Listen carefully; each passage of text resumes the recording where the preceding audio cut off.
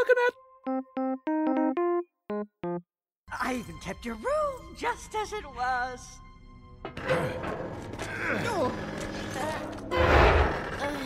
You slept under the engine? What a dump! All the stories you would tell me.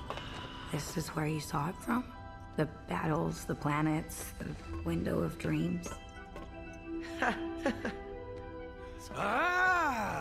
What is this contraption? Ooh, looks powerful. It's a cloaking device. Whoa. Oh, she reads Klingon. A girl like that can be useful. Cloaking? It can make a ship invisible? Too bad it doesn't work without Chimerium. It's impossible to get your hands on. Chimerium? We have loads of that. If we're invisible, we could hide from you know who. Chimerium? Who said we have Chimerium? Rok did? Just now? Gee, this guy.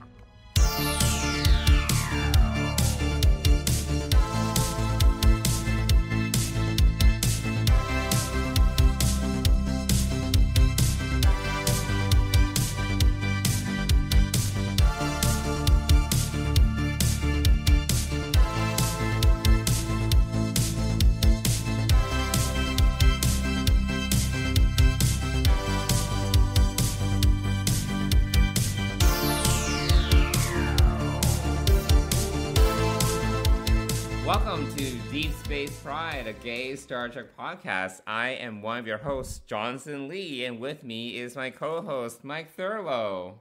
Hi, Johnson Lee. Welcome to Shay Mike Thurlow. Oh, well, do you want to tell our uh, listeners what's different today? We're we're together in person. we are together in person. I, I think they can recognize that. We'll we'll probably leave the beginning part in as Johnson is opening up a bottle of Chicard uh, Watch me Chicard spill it. Chic- He can't speak. Oh my god. Chicard Pateau. Um, what? Chateau Picard. thank you. Yes. There you I- I- go. Oh, nice pop. Yes. So um, what happened was one of my friends for my birthday, for my 40th birthday, I'm now officially old and the same decade as Mike. nice. um, sent me a bottle of Chateau Picard and a bottle of Kanar, which was very nice. wow. Very unexpected. And this is a friend. Um, shout out to this friend. Her name is Sherry. Is not a Star Trek fan, but she legit just went searching on the internet for gifts that she thought would be appropriate for me. And she came across this, and I was completely blown away, totally unexpected. And I looked it up. It is a total ripoff. It's like two bottles of wine for like $130. That is that is quite expensive. It's like so this bottle of Chateau, Chateau Picard is 65 bucks. So we're gonna do a little bit of taste test today. When are we gonna to drink see- the Kanar? I'm I'm fascinated. Next time. I'm Well, fascinated it's- by Kanar too. Well, the thing is, is a Canard is also a red, so it's not just it's not like gooey. Oh, it's not. it's not gooey. It's not like molasses, which is how it's It's- supposed to be. Right. Um, I don't. I think it's also kind of a blend. This Chateau Picard is uh, it's a Cabernet Sauvignon and a Merlot blend. Okay. So let's see. You're a Cab Sauv uh, fan, right? I I mean, Dennis is more the Cab Sav fan, so Okay, he- We're like aerating it. We're aerating Aerating it. it, This is yeah. what's happening. You're smelling so, it. How's so it smell? you know, so What happened? so one thing we learned in our travels to Napa over the summer, Okay. last summer, Okay, I'm swirling. which is the last time that we actually reco- recorded was after sometime before or after Hawaii and, and Napa, but okay. um, swirling. So yes, you swirl to aerate it, but then you sniff from the top of the glass, not the bottom of the glass. Is what is the top? I The top is up here, uh, and you'll get the bouquet. If you smell down below, you'll get the alcohol smell. Okay. So, sure. um, so that's how you you're supposed to smell from the top of the glass okay. when you're when you're smelling. So let's let's taste and see what we think about that. Wait, what do you smell? I smell I, wine. I'm not that that sophisticated a wine, wine. drinker. I smell wine. Uh, smell- well, why I don't smell- you?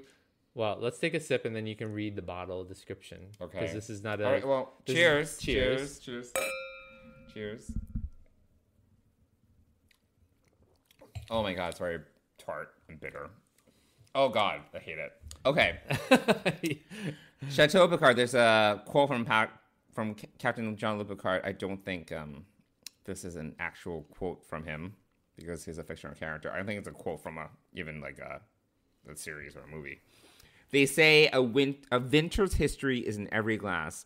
The soul he comes from, his past, hopes for the future. So to the future.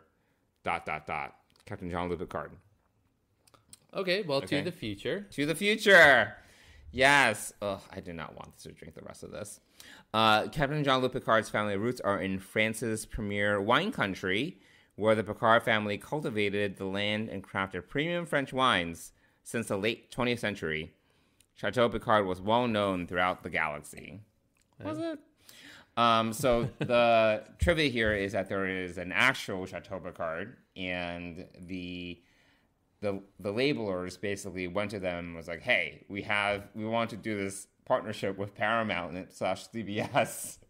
Would you be up for it?" So they basically created like a limited edition uh, that was branded Chateau Picard. So they probably get shafted. Is probably the the true story here. You mean are you talking about the vineyard? Yes, they got shafted by Paramount slash CBS. And they were paid. I'm sure they were paid handsomely for this. Wow. I mean, the the label's nice. I, I can't. I don't know. I don't like this wine. Do you like it? I mean, it's a so. It's very I mean, it's, it's a mix. It's, it's you're right. It is very acidic, and I'm not a not a huge red drinker. Um, I like this. I like reds, but this is just. I don't. I'm. This I, is very acidic. But what it's year? very what, acidic. It's gonna give me acid reflux in like What- five minutes. what uh, year is this? Twenty three eighty six. That's what it says here. Does it really say 2386? I mean, it says twenty three eighty six, oh my word, it does. but um, on the back it says twenty seventeen. Oh, 2017. Okay, so Yeah. it's it's a yeah. This is more light body than I would expect, but yeah, it is a hope- blend. Yeah, I would It like a want a blend. fuller. I mean, like a mix between a cab, a cab and a merlot. You would think is more full, but it feels very. Um, It's don't know. very light, but you're right. Yeah. It is uh, it is a little acidic, a little alcoholy. Um, but maybe it'll get better as we let it air out. I don't know about that, but we can hope for the best. We can, and uh, so it's good to be here in person. Yeah, We haven't done this Yes, in a long time, very exciting. as evidenced by trying to figure out the setup once again. That took like too too much time. That took like twenty minutes. All right, it took to the future. I was like, "Are you troubleshooting or just sitting there?" Just kidding. wow. Well, here we are. Uh, here we are drinking Chateau Picard. I hope the Canard is better. Um, and we are also here to talk about Star Trek. Yes. And there's a lot of Star Trek news. there is. There's a lot going on this week. Um, and yeah, I saw it on Instagram before I saw it in our Slack channel. So um, yeah, it was. Uh, I was sort of ahead, but I didn't have. I saw it and I didn't have enough time to like share it with everyone or or think about sharing it. I was like, I, I was mindlessly scrolling as a distraction, I'm sure, mm-hmm. and saw it, and then probably work intervened before I could even share it with you. I don't think I shared this the Instagram post I saw with you. No, it was. It ended up being in our Trek Geeks podcast Slack group Right. that Bill shared it with us. Yep. And I was like, ooh, news. Yes. So uh, basically, we found out the premiere dates of. I mean, we knew that Discovery's coming back, big surprise, but we specifically found out the premiere dates of Picard season two and Strange New Worlds, the series premiere, and we also found out that. I mean, we knew that Picard's coming back for season three. We found out that Strange New Worlds has already been renewed for season two. Picard season three we knew about. What was what else? Lower Oh, Decks just- well- season season four. Yes. That was news. and also Discovery season five.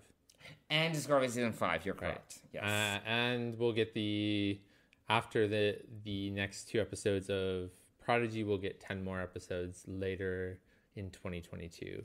That's from- right. Which, as as I posited at dinner tonight, uh, is probably going to fill that gap after Lower Decks and before, hopefully, Discovery season five, if they're keeping the same rotation. But I have not heard of anybody going back yet to start production of season five yet. so- Yeah, we'll have um, to see. I do feel, as I said to you over dinner, I think that Prodigy is kind of getting shafted a little bit with their schedule. They're kind of just operating as a filler, but it is what it is. It's fine. I mean, it. You know, so far we've seen well, based upon, uh, well, we've just seen eight episodes, right? But uh, the first five fit a nice little like mini movie kind of. For those of you who obviously can't see because there's no video recording this week, but uh, Johnson is choking on his Chateau Picard right now. Uh, I but did not recommend this wine. It's, I, it's you know, blends can either be good or bad, and I think you know it. It really depends, and maybe this just needs to age a little bit more. Um, I don't know if that's gonna help, but You know- again, hope. You know, also, if this was made in 2386 and transported back in time, it's still it's still a young it's a young blend. maybe. But Maybe. um, yeah, I think uh, m- the way I'm looking at this as Prodigy is it's like so, sort of maybe three or four mini movies. Uh, the first five episodes definitely kind of completed an arc. And uh, I think that we're going to see, based upon the end of this week's episode, we're going to see another kind of arc kind of come to a maybe to a point. Um, but I think you know, based upon the trajectory of what we saw in this week's episode, uh, we're probably going to have a cliffhanger at the end of episode ten. I wouldn't be surprised. Yeah, I wouldn't be surprised. I just don't know, you know, again, their primary demographic being kids, like how I would kind of just kind of lose patience and I don't know, kind of getting strung along a little bit, you know, but whatever. Right. Well, I think also to uh, the length of time. So, uh, you know, if you, and you can actually watch this live, or not live, you can watch it recorded on YouTube, on the Trek Geeks Podcast Network YouTube channel. The uh, telethon from this past weekend, which I watched. Oh uh, yeah, a you are of. you are definitely into that. I was like, I don't know what you're talking about. I mean, I thought the the panels were great. It was uh, it was long, and I did watch other things, and you know, watch listen to some more than others. But uh, during the animated uh, part of the telethon, uh, the Hageman brothers did say that they wrote these episodes over two years ago. right. So the lead time on Prodigy is much greater than Lower decks. than Lower Decks, which sure. Lower Decks, uh, Mike McMahan did share that Lower Decks season three is in post production already. Mm-hmm. Makes so uh, that's incredible. And uh, they also, I can't remember if he said that they got picked. He he stopped short, I think, of saying that they. I felt like he was going to go on and say, "And we're starting to write season 4 Mm-hmm. but he didn't say that. I felt like he was going to say that, but he Yeah. didn't. And uh, I do think that Lower Decks has a much shorter production turnaround time. I mean, you think about like even The Simpsons, they like turn out episodes like crazy. Yeah. it's just a production house, you know, like it's assembly line versus 3D animation, which Yeah. is much more complex. I had no idea about this, so uh, it's interesting. Uh, that was an interesting education uh, in the length of time, uh, and and I mean, Prodigy is beautiful. I mean, oh right, no, there's so everything about detail. that. There's incredible amounts of detail. So I think that this is um, as much a visual show as it is a character show and a Star Trek show. Sure. Um, so that's you know I don't I don't know that they get the shaft. I think it's just the way that the production is going for whatever reason. Maybe it's you know and maybe in COVID it's even taking longer than the normal turnaround time for a 3D animated show. I don't know why it would, but I don't know. I think that they're just kind of being treated as filler personally, but maybe No, I mean, I'm sure an element is post production, but at the same time, it's like if post production was really an issue, why not wait until more episodes are in the can? It's just like very. I get it. I think they're doing the best they can given, you know, the little story arcs that they have, but. It's if the attention if the intention here is to draw in a younger audience, I'm not sure giving them five episode, spurts that are split up between like in months with months in between is really the best way for them to be growing this audience to be honest No, that's a good point. I, I think uh, I'm wondering though if that was not the plan originally, and then COVID kind of changed this whole plan. potentially yeah I think I think uh, post production on everything is taking longer than it normally would. Um, the turnaround times on this. Sure. But you know, anyway, uh, the other news. So Discovery season five. So uh, that's you know pretty exciting. I Uh, wonder if Michael Burnham's going to save the universe again. Just wondering. Well, we don't know that- Curious minds want to know, but we, you know, we don't even know if uh, the universe is going to survive Oh, season yeah. four. So totally. um, we don't know. I, I still think I'm one, of still. those, gonna- one of those is going to be time travel. uh, It's 50 50. it- it's it's probably more 75 I know, actually basically. or 90 10 at this point um considering but uh yeah so we we've got season 5 of discovery we've got before they even um so other than a uh, launch date for picard we already know that they're in production for season 3 which they had to take a, a week off because of co- 50 staffers got COVID. 50 Yeah. Oh, That's wow. A lot. that is a lot where did you hear 50 It was in the news, including some major cast members. not patrick stewart though I don't think so. no That would be Uh, bad. wow But it was 50. I mean, they ha- they have like four 450 people on staff. Oh, it's, okay. it's a huge reduction. okay But yeah, it was not great. well It was suboptimal, as some would say. Uh, yes, as as someone would say, I can't imagine who would say that. Uh, that's unfortunate, and and hopefully everyone on the crew was vaccinated, and they are only having mild and and manageable sy- symptoms. Hopefully, So, you can take the rest of this bottle. I really well, uh, you know, I'm sure uh, Dennis will um, really? You try it. Yeah, I mean, he, he I don't know if he'll like it, but he will drink it. Ugh, I- Uh, he is coming back from his trip with nine bottles of wine. oh my god. in his suitcase, which is going to be interesting. Uh, okay. Oh my god. so we'll see what happens there. Um, Oh, he well. may he may come back with zero bottles of wine and also a need to buy all of his clothes. Um, Well, you know what? You guys spend your money on dogs and wine. I spend money on fish and coral. So we all have our vices. we all have our vices, exactly. Yes, So, yes. There we are. Uh, speaking of dogs, hopefully uh, Hamish will. I think Hamish is asleep now. He's taking a nap. Yeah, He he, was, was really. He was whining. He was being a really whiny bitch earlier, but uh, you know, now he's okay. He's passed out. He's fine. Yeah. I told him he'd be fine, and he was. He is fine. That's Just how it goes. Uh, so let's see what else do we have. So no, we already knew Picard season three is happening. It's actually technically the last season of Picard. Mm-hmm. Uh, so we're told, at least at the moment. Uh, and then Strange New Worlds, May May May third, fifth, fifth, third, something. something. First week of May. Yeah.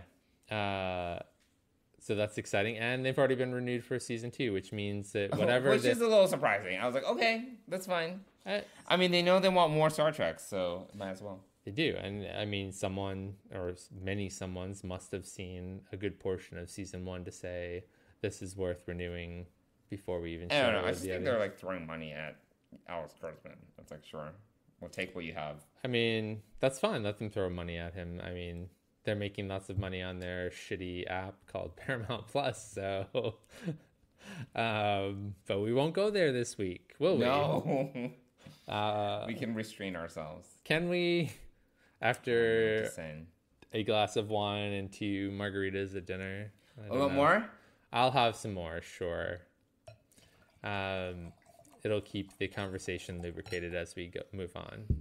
Um, so I think that's exciting. I think obviously, um, you know, I'm super excited for Anson Mount and, Yeah. and crew, who we haven't even met other than in a teaser No. trailer. Yeah, Uh, I mean, barely. It wasn't Uh, even. It was a character trailer. yeah, it was. It Uh, wasn't even a teaser trailer. That's true. Hopefully in Chicago we'll get some really good stuff from. Oh my god, we need to like, start thinking about that trip. We do need to think about that. I'm actually worried because one of the things about you know uh, they have not canceled it. They have not said changed their plans about it. But you know, a number of actors have said that they are still hunkering down, which is you know during this Omicron um, surge that we're in. And uh, a number of them have said that this is, you know, they're kind of now the preferable way to attend to do these things. That they they can do these like the telethon this weekend, they can all call, be online and do this telethon thing. Sure. The one thing I will say is, um, you know, when you are on Zoom and doing something like that, quit all your other apps, please. Um, Why? Why? You know, I think people forget that Was they Sean get- Billingsley like distracted or no, something? no, no, no, no. It wasn't even that, and it's just the smallest detail. But having, being someone who's a mildly expert level Zoom user Mm-hmm. and director and producer that I have been, uh, when you hear hear yeah, when you hear the mail icon chime when you get Ah. new mail uh, in the middle of an interview, you're Mm. like, uh, couldn't we just please remind everyone to quit all their other apps, shut off their electronic devices, and just be present for. Yeah. Um, so you know, no criticism, but other other than you know, if you are doing something like a um, an interview on Zoom, No, for future reference, in my next interview with a major publication or magazine. Yes, or for a job interview, you should totally be uh, quitting everything else and only have Zoom open. Um, it's just one one. It will reduce the pull on your internet, so you won't have other things. It'll only be Zoom focused. And then two, you won't have these annoying chimes in the middle of interview answers and things like that. So It's not improving. the air is not improving the Chateau Picard. God. So just just a bit of advice to everyone who uses Zoom, which is almost the entire world. Um, but just something to think about. Quit those other apps. Anyway, uh, but I'm super excited. I'm hoping that uh, uh, I'm hoping that the stars who are who have signed up will still go. They have Uh, only, I think they only have like six, seven stars signed up. At least Yeah. I for the site. the the two people that I really want to see that I'm convinced or have highly high doubts about them even coming are Anthony Rapp and Wil Wheaton, uh, who I really would love to to meet and um, You know, shake to. his hand. Well, I you know I don't think anyone's shaking hands, which is also Oh, kind of a misnomer. Uh, you know, COVID is a respiratory disease, not a I know. transmitted by handshakes um, and things like that. But anyway, Anyway, uh, so anyway, We'll see uh, what happens. Yeah, It's we'll see what happens. It is. It's uh, three months away. yeah. Less than three months away. Ooh. Yeah, Yes. Yes. Yes. That's why I'm like, we need to plan soon. we do need to plan soon. You watch, we'll plan, and then I'll cancel it. I mean, it's possible. It certainly is possible. so All right. So, did we cover all that news? I think we got all the news. Yes. I think the major. I'm sure there's like something else, but I think we covered all the major news items. Okay. Um, but head on over to trektalks.net. Uh, What's that? that's the where the telethon was. I obviously be- did not participate. You did not. You were upstate. I was far, uh, upstate far New York. away. Yes. Uh, Having but, a pleasant getaway. but la- at last count, and this was yesterday, I think uh, they have raised seventy over seventy three thousand dollars for the Hollywood Food Coalition. That's amazing. So, and they've also we've uh, Trek Geeks has also launched a T-shirt on Trektivism uh, and all the proceeds. What's that? Uh, well, go to. I don't even know where to send you for that. Trektivism? Trektivism. So it's uh, when Star Trek fans Uh huh. make help make a change in the world that kind of revolves around the tenets of of what Star Trek is all about. Uh, I will find out uh, exactly more information on that as we move through the podcast, but we'll come back to that. But Got it. but there is a T-shirt if you go to. Uh, I don't actually know where to go to. oh uh, my we'll God. get the link. You're like a I fount of information right I- now. Right now, you know, it's margaritas and wine in my system, and also I did at least get the live recording up and running. That's true. I did not have notes prepared as I had a busy day at work. All right. so, whatever. Uh, and oftentimes, I only hear excuses, but that's fine. oh well, you are the king of excuses. oh my. Okay. So Shots fired. shots have been fired. okay. Chateau Picard is in danger. Okay. All right. Well, now that we covered the news and we've also sh- fired shots at each other, um, should we talk about this week's episode of Prodigy? Let's do it. Please, we have to give it back. Rule of acquisition number one. Once you have their money, never give it back. Let's go! It doesn't belong to you. You weak, hopeless fool! You're too soft. Not even working the mines hardened you up. How would you know I was in the mines? You couldn't know. They kidnapped me. Kidnapped? Ha! I sold you! Bought a partner with an actual eye for treasure! Pickpox doesn't have the mouth to muck it up! All right, so this week's episode of Prodigy is called First Contact. They're really into these clever names, by the way. I don't know who who it's for. It's not for the kids. I think it's more for the adults, if anything. But yeah, I thought that was slightly clever. Um, yeah, I mean, Mike, what did you think about this episode?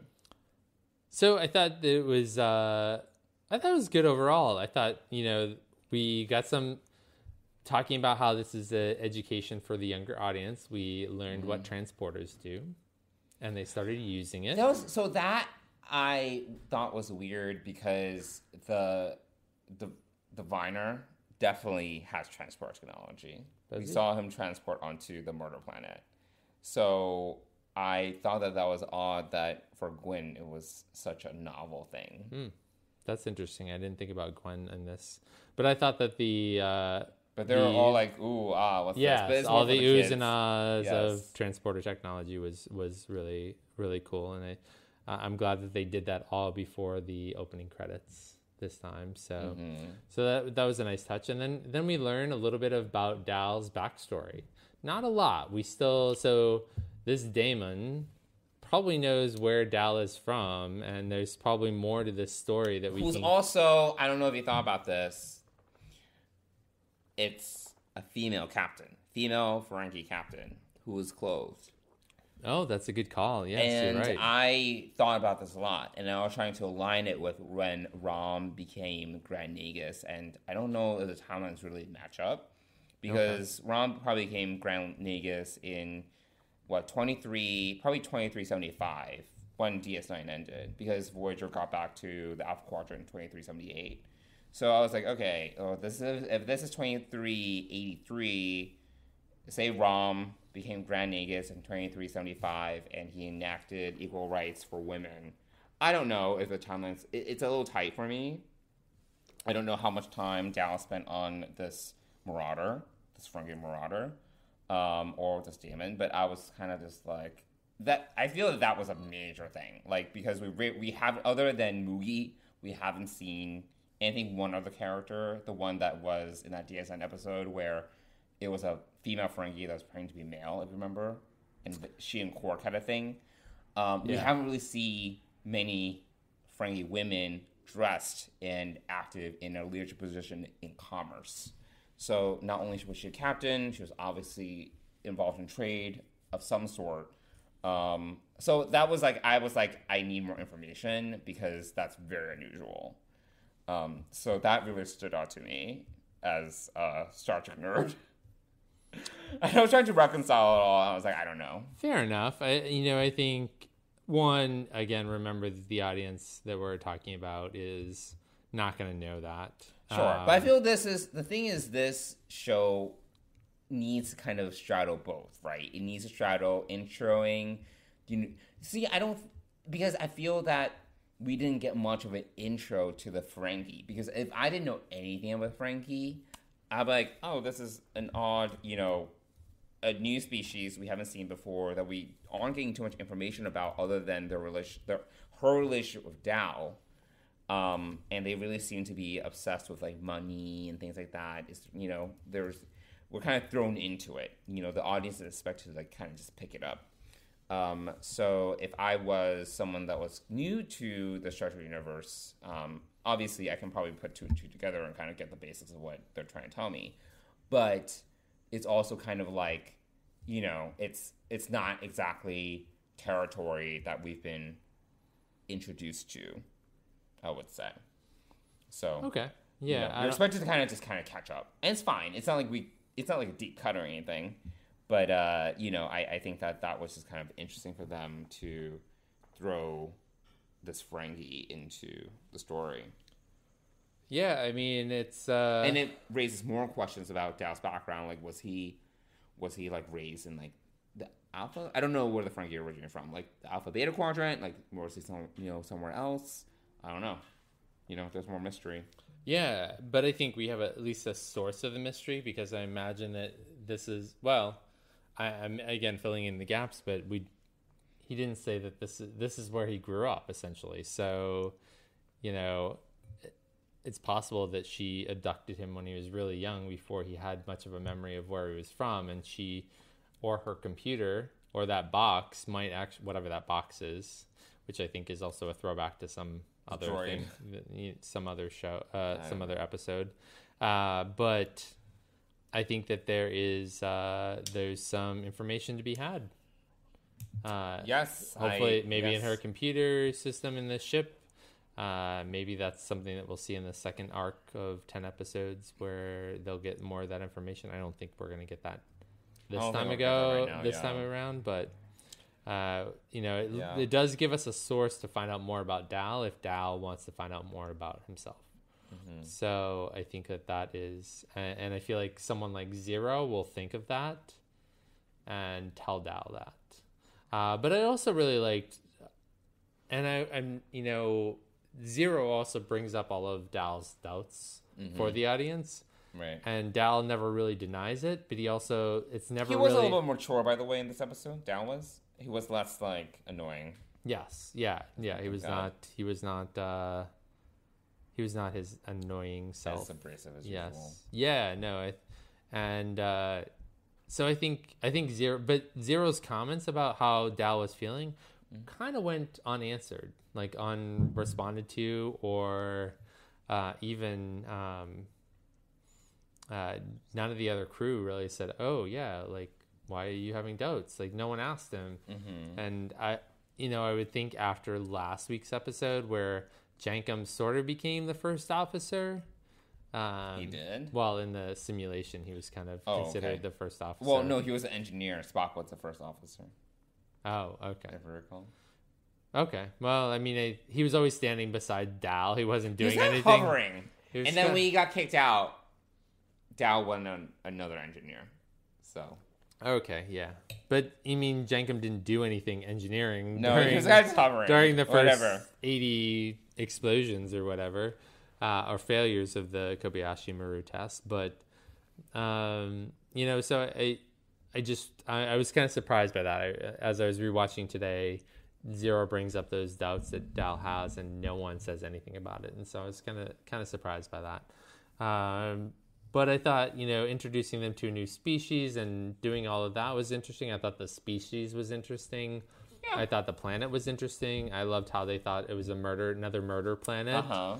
Uh, which you know is is kind of hilarious because it was really it was really alien and it was really kind of crazy. Um, but I loved how in the end uh, the transporter kind of saved the day. So we kind of get that great. This was a a case of great storytelling where we were introduced to it at the beginning and it kind of it comes back in the end and saves both Dal and the crystal. Yes. Uh, so these are really smart kids, obviously, uh, who understand how to run a transporter. And you know, Dal beamed on board and immediately took over and did all of that transporting. So you know, th- this is a really smart crew, and uh, so I'm, ho- you know, I, I oh, thought and that we was didn't nice. talk. Like Gwen had her moment. Now she's a comms officer, and she was able to figure out how to communicate with the aliens. Oh, right, yeah, You know, so. I'm glad that we got a little bit of her time to shine. Yeah. Well, she You know, she she, read the gonna kinda figure Klingon uh, on the Mhm. the cloaking device, uh, which needed Chimerium, which was on the planet that they sure. uh, came from. Uh, but I didn't realize that they had a source of Chimerium on the ship, which is interesting.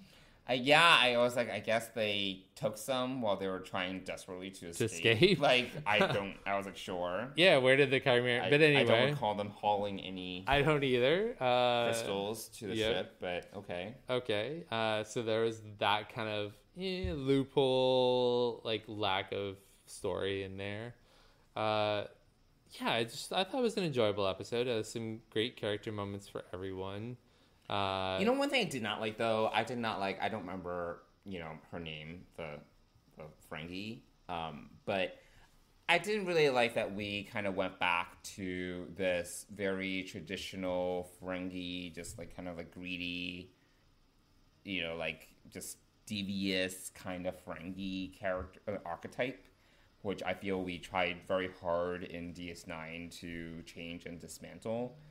I that that's one thing I understand that they needed some sort of like caricature to drive the story forward, but I kind of wish they gave her more complexity because basically it just turns out that she's devious, she wants the crystals, she's sold out into slavery. Like I was just like, this is very like TNG season two, like Ferengi, you know, and I wish there was a little bit more to her character.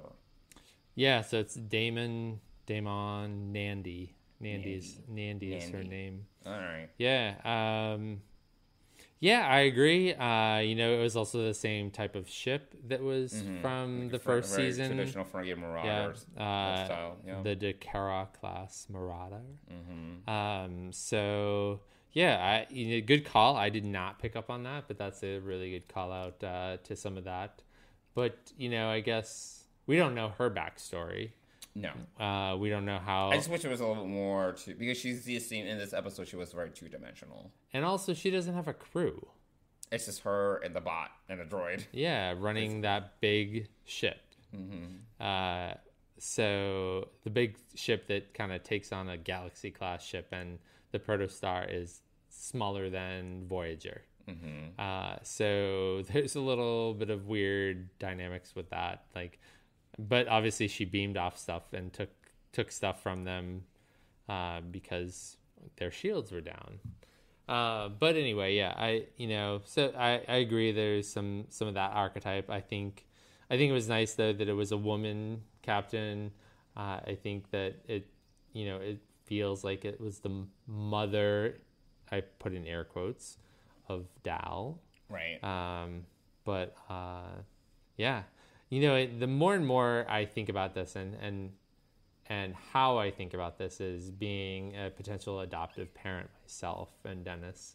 You know, this is the type of situation that you often find adopted kids are in. Um, you know, where they're they you know they are abused or they there's a lot of PTSD, and I think that. Um, that- Especially foster kids. I would say. yeah, Yeah. yeah, and I guess that yeah, she, you know, Dal might be closer to a foster kid for Mm-hmm. DaiMon Nandi than than not, but we don't know their whole backstory. Um, so yeah, I just think that this is there's some definite adoptive adoption, you know, adopted kid um, issues going on here that they're sort of uh, bringing up. So But that I, but I think this goes back to one of the things that I think we talked about at the beginning of this series, uh, very similar to what we've also gotten in Discovery, where it's this idea of chosen family, right? Which I think Gwen kind of brings up yeah, in this episode as well, where they've both been estranged in different ways from the parents and the Mm-hmm. Yeah. and, and, and it takes time to know, accept that. She and yeah, it takes time to get and get over that, and to- and she's still getting over that. for sure, is what she said to him. Right. The other thing she said to him, she called him out on, or she's when they f- went to where he stayed on the Marauder, which is underneath the engines. Uh-huh. She found the portal that he saw the world through for the longest time, and Mm-hmm. Right. obviously that harkens. She calls out, you know, all the stories that he told her about all the things he saw Mm-hmm. over time. So. Um, I think that was interesting, and he sort of like embarrassingly shrugs it off uh, which I thought was uh, both cute and again, you know, n- people aren't y- the rest of the crew aren't really picking up on these sort of cues, especially Rok-Tahk and uh, Jankom, who let DaiMon Nandi know that they have a bunch of chimerium on their ship. right. Uh, so clearly, uh, being secretive and uh, you know maybe Dal should have given a little more context before beaming over with them and said, "Let's not talk about anything that's on this ship." Um, That would have been a good good plan, I think, for them to do. But uh, But oh well. oh well.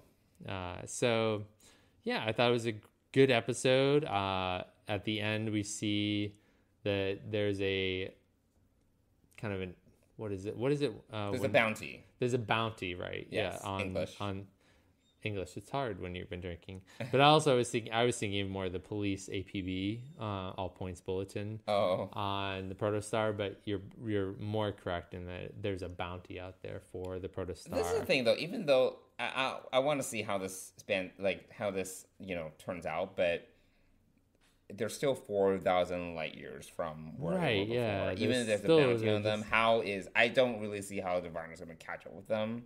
It's ridiculous, but I'm sure.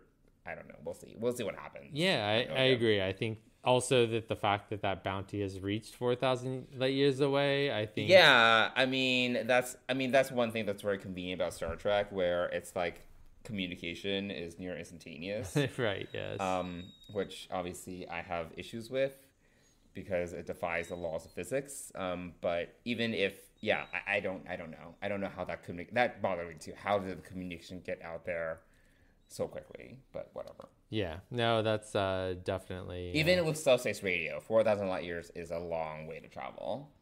yeah. Yeah, I agree. I think it's one of those things that you kind of have to forgive. Yeah, Uh, but what because it moves the story forward. right, exactly. And It's the sort of a details that we pay attention to are not the details that Correct. the targeted audience will pay attention to. Correct. I mean, I don't mind. This episode was fine. I thought this episode was fine. It gave us a little bit of background on Dal.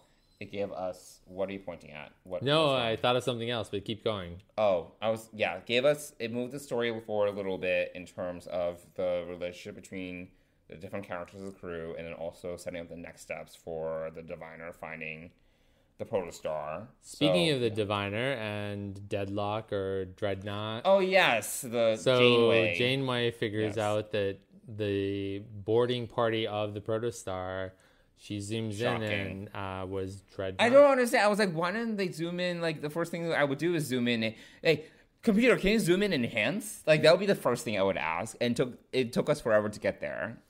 And I she was like, hasn't. why? Only Janeway knows this. So Janeway and us. But of course, of course, the rest of the crew isn't there, so they are not there to recognize Drednok. right? And it's Joey not- has no idea who Drednok is. Right. So it's like, okay. Yeah, exactly. yep. You know? Um, But I thought that was another interesting piece. So next week's episode, according to Memory Alpha, is called A Mock Time. Oh my god. Uh, They're really. I'm telling you, they're really into these puns. For oh, sorry. No, no, not a mock Time. Time a mock. Oh my god. So I uh, can't. Every, tomorrow. like every episode. I mean, I, I I'm having fun with it, but you know, obviously it's for the fans, not for the kids. Right, yeah, yeah. So that's uh, and if you can hear the whining in the background, we have our third co-host here, Hamish, whining from the kitchen. Um, He wants so attention and he d- he does want attention and love. He does not like being apart. So I'm gonna go take the gate down. But uh, right other- now, why? he'll be fine. He'll sit next to me. It'll be okay. If he pees all over me, I'm gonna like slap him in the face. All right, so we should we should give some context. So when we went to dinner, when he came back, Hamish was excited to see me. So excited. uh, that he's still he's still a puppy, he's six and a half months old. He excites excited peas when he when we come back home. And I was like frozen. You I was were like, I don't want to move. I don't want to touch yes, the pee. he will not do that. He will not do that again. I don't want to step in the urine. Yes, no. I am not a fan. So, well, Mike's gonna go and release the dog from his cage, I guess. But okay, well, I guess that does it for this episode. Um, if seriously, if that dog pees on me or licks me, I am not gonna be pleased. he will not. Come here. Okay, you better not lick my shoes. No, there we go. it's all good. He's gonna just he's gonna lay here next to me and be a good puppy. It'll all be fine. So what's next? Um, are we done talking about the episode? Is that everything? Yeah, I think we've covered everything. Um, cool. Well, do we want to do a little bit of off topic? I feel there's mean- a lot of stuff that we've yeah, been it's not doing. a little bit of off topic. It's a lot of off topic. We've been doing a lot outside of Star Trek. yeah, we have. I mean, that is a big dog. He's gotten really large. He is for yes, he is. He's gonna start chewing on the microphone. no, he won't chew on the microphone. It's all good. Um, I mean, he's cute as long as he doesn't lick me or pee on me, or touch me with his nose, which is kind of wet and disgusting. So you are just not a dog person. I mean, I'm not into bodily fluids. We're gonna have to see what happens when you know I actually get a boyfriend. I don't know. I don't know you what's gonna happen I don't know what's gonna happen. Um, I'm like, yeah, can you deal with the body fluids some other way?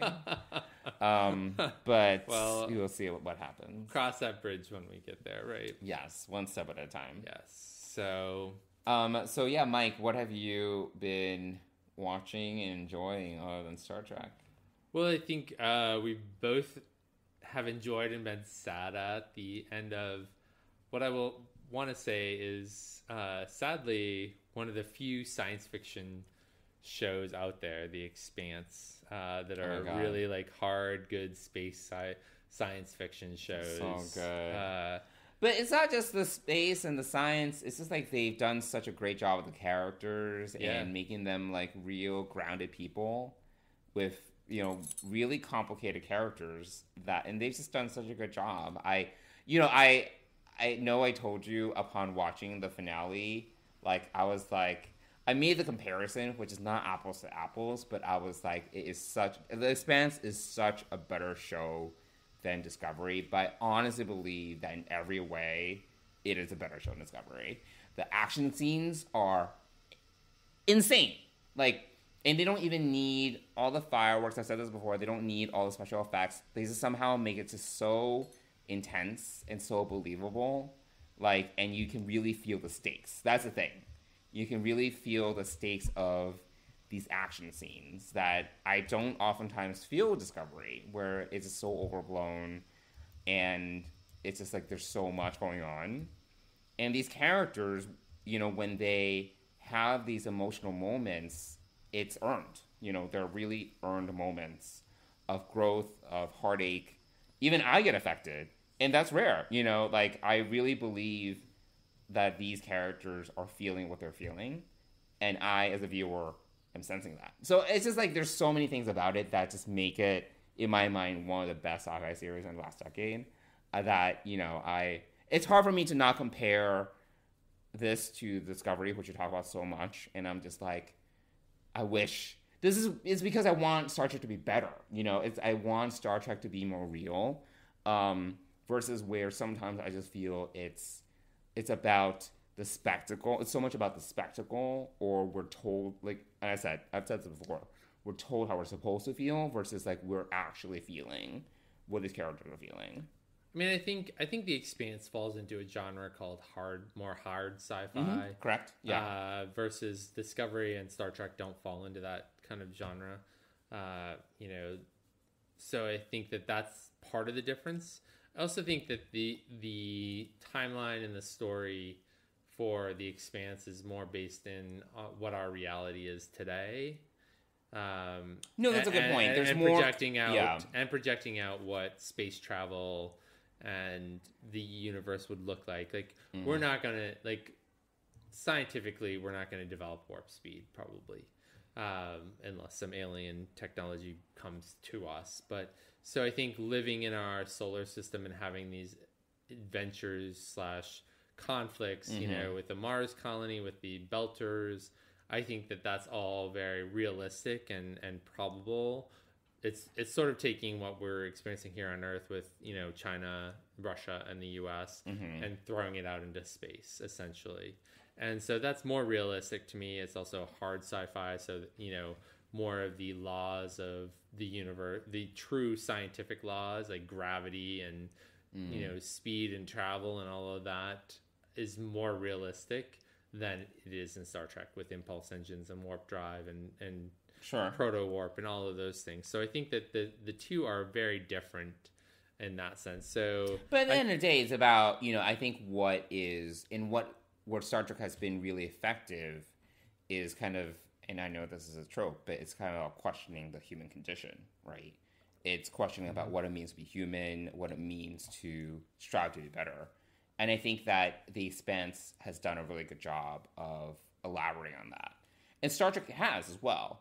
I don't know if it's done as, as much recently because I feel that Star Trek has really veered into spectacle. You know, it has really veered into much more trying to be more like Star Wars, in my opinion, where at least traditional Star Wars, where it's been much more about the explosions and the action um, versus really diving deeper into what it means to be human. And I'm not saying it doesn't. It, I'm not saying it, it hasn't, but I feel that The Expanse has just done such a great job of doing that. And where Star Trek got really good in TNG, and you know, especially even in season two TNG, like if we were to look at Measure of Man, and also DS9 is where it really brought a lot of shades of gray to Gene Roddenberry's universe. Mm-hmm. And it's like, what does it mean to want to be good and want to be better, but knowing that you can't always have it all, you know, can't always have that all the time. So I think that that's what I feel Star Trek, that's where Star Trek has really shown, in my opinion. And I know that I'm, I've been very critical about Discovery. And the reason why is because I want Star Trek to be better. You know, I miss that kind of subtlety um, that we haven't, I feel, gotten in as much recent Star Trek. Yeah, no, I, I, I take to your point about uh, you know wanting Star Trek to be better. That that totally makes sense, and uh, that's uh, that's a good point. You know, you do want the the characters and the the the the story to be a little bit more well developed and and and uh, structurally more interesting. Okay, Why is he still whining? He's like in your lap. he he's a very vocal dog, so it's uh it's interesting. His yawns often turn into whines. Oh, Um, yeah. So, you know, I, I think, um, but he's happy. He's he's with us, and so less whining in general. But yes, the the yawning is uh, is a typical thing from him. But uh, you know, so I think it's hard for it's hard for me to compare the Expanse and Discovery. Uh, because I think they're two different stories and they're two different things. Uh, is he farting? no, he's just. I don't know why. You, can you? Can you? We didn't ask for a third host this week. I don't know why you're being so. like, what does that sound? Is he farting? Like, is No, it that was something that was else? grunting. That was grunting. Grunting. Yeah, his, his farts don't don't sound; they smell. So if you you'll know when he farts. Got it. Um, so you know, I don't really compare the two, um, but I do like your comment about wanting Star Trek to be better, uh, and not and and your point about you know making us telling us how we should feel versus making us feel. I think that's an important point that you've made. Um, but you know, I, I, I think that the Expanse has just been really great about having really complex characters. And if you think about it, even this season, like we actually didn't get that much narrative momentum. Like not that much happened. A lot of it was just about how the characters were bouncing off each other. Yeah, You know? No, I, I mean, honestly, Avasarala is one of the most interesting, complex, amazing women leaders of modern sci-fi. Uh, you know, it's uh, you know, I, I there are parts of me that want to go back to Vegas and and see, you know, she was there, and I, you know, I Like kinda sure, wish- come on, you know, talk I, to me. I- yeah, I really wanted her. You know, and now I really want to talk to her. Uh, so there's that, and um, so Is he licking himself? Is he biting off his stitches? Like what's no, happening? I mean he's probably cleaning something, but I don't know. Gross. Um, so I, you know, I, I think she's amazing.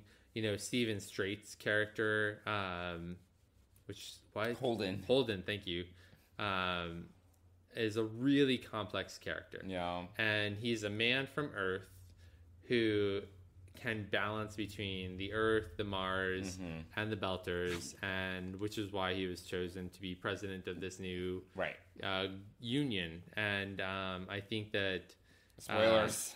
Spoilers, yeah, uh, yeah, you'll you'll you yeah you won't figure that out really till the end, but um, if you haven't watched it yet. Uh, but yeah, I think uh, he's a really complex character. I think Naomi is a really complex character oh my god. especially when it so comes good. to you know her sort of being mad at Holden for for not um not killing uh Marco. Marcos thank you Marcos Marcos right Marco Inaros. yeah um when he had the chance Right. like honestly like I think that that, that shows a development because she really wanted to leave. Remember in season five, she really wanted to leave and go see Philip, and then um, she uh,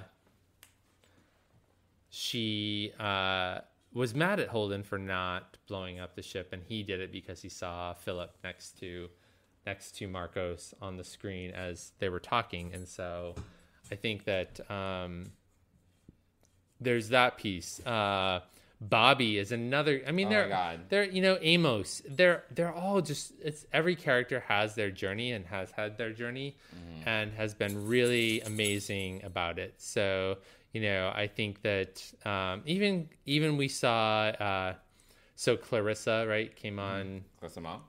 Uh, Clarice or Clarissa? Clarissa. Clarissa uh, came on at the end of season five, right? He br- brings uh, Amos brings her on board to Holden's chagrin, and um, she becomes a really important part of this Right. crew.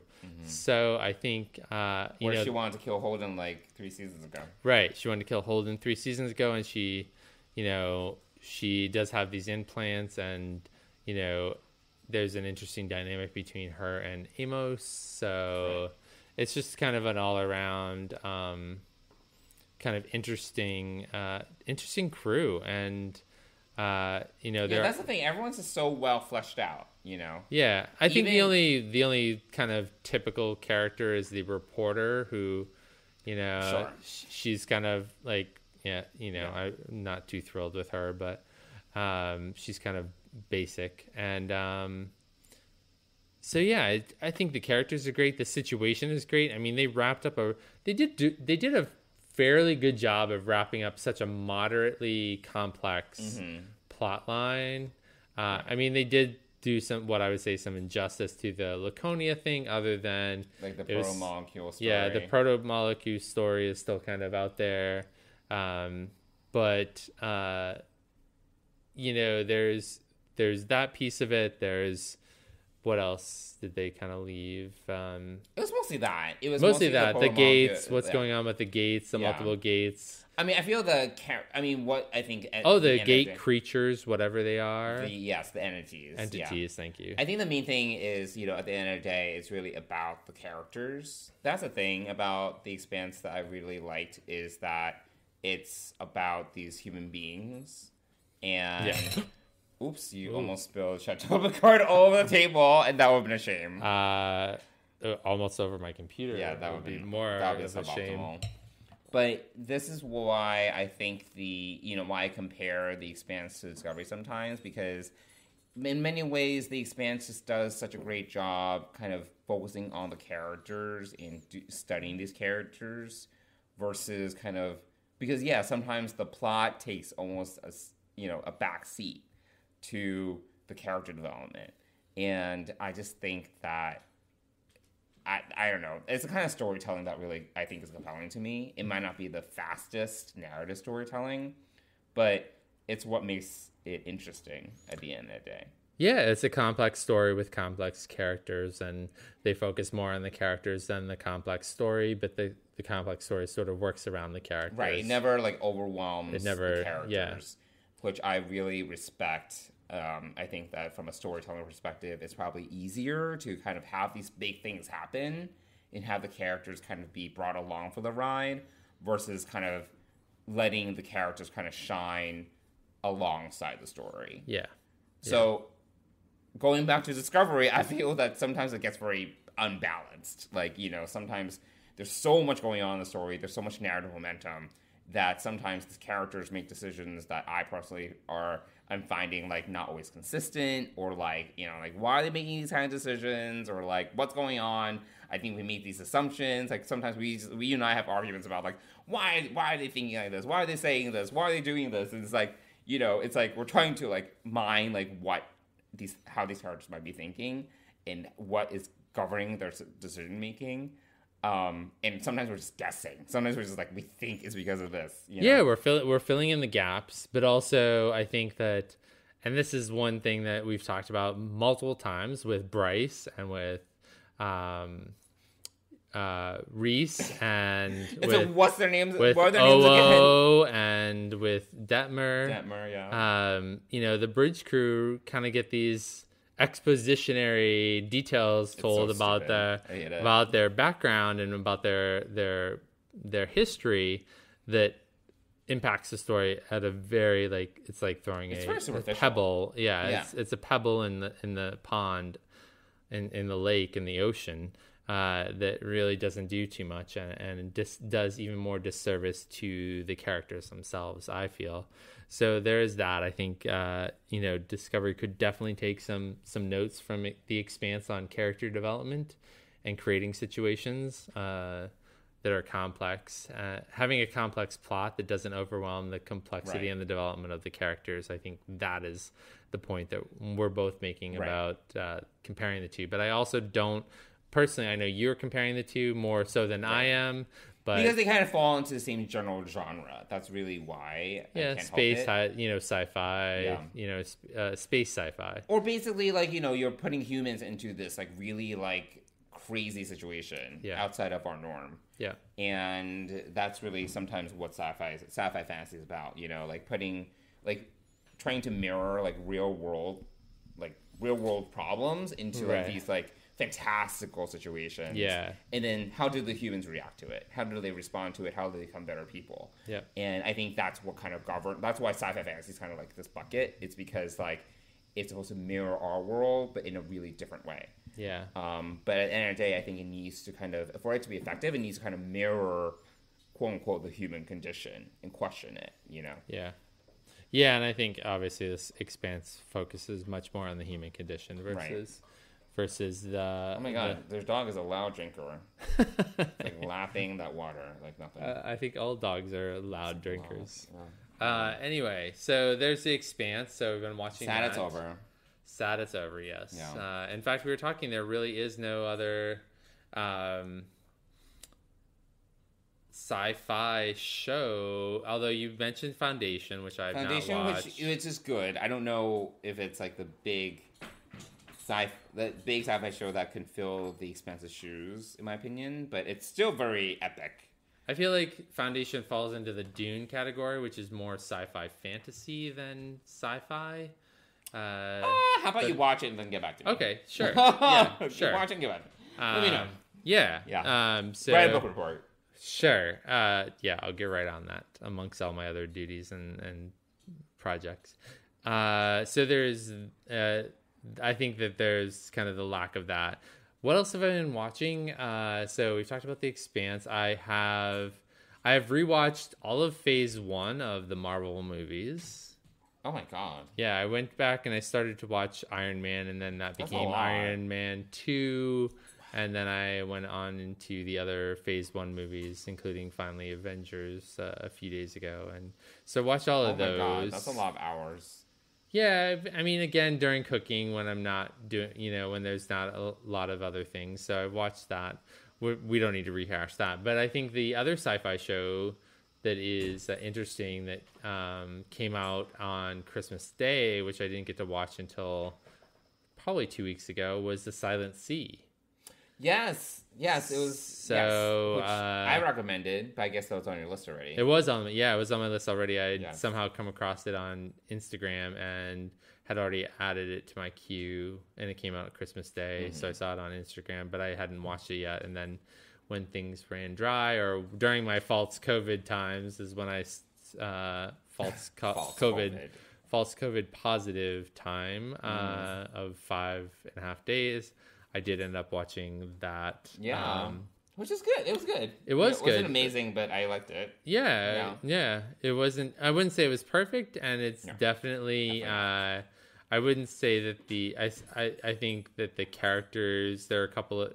Obviously, there are some very basic archetypes in this show, and then there the two main characters, the captain and this Doctor Sung, which was really hard for me as a Doctor Who fan to hear her be called Doctor. Oh, Sung. Doctor Doctor Song. Yeah. Yeah. Um, but she also has a very limited range of emotion from, um, from depressed to s- terribly sad, and uh, so I wasn't that impressed with her. And the actor who played the uh, captain was familiar to me. He's been in something else. Uh, he was in um, he was in the other Korean series. oh, Squid Game was he? Yes. Was he in Squid Game? he was the recruiter. Oh, guy who threw the envelope- the through envelope the game. envelope. Right, right, right, right.